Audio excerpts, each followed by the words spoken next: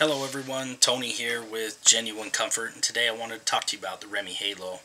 Uh, the Reme Halo with COVID out is highly recommended, especially for homes. It actually goes in above the coil um, which sits on the furnace if you have air conditioning and um, as the air blows through and around the Reme Halo itself it produces hydrogen peroxide to go out, kill the contaminants in the air and also kill surfaces. I highly recommend the Reme Halo. Uh, there's two kinds out there. The older kind is uh, just a bulb. The newer one is LED with uh, some different uh, ways of cleaning the air.